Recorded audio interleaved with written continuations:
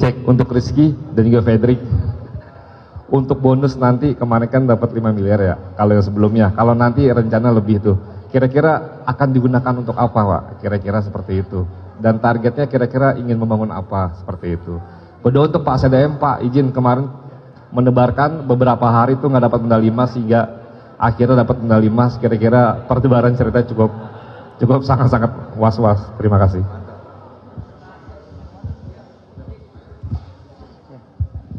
Ya, terima kasih Mas atas pertanyaannya. Ya, uh, insya Allah bonus yang terbaik ini dari Indonesia buat saya.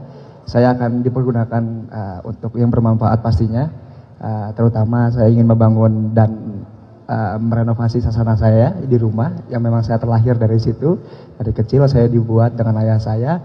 Uh, saya dirawat di situ, dilatih di situ dan alhamdulillah saya bisa mendapat medali emas ini berawal dari situ. Saya insya Allah ke depannya akan memperbaiki semua sasana Gym itu di Banten.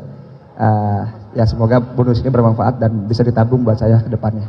Terima kasih mas. Ya kalau saya kurang lebih sama kayak Rizky.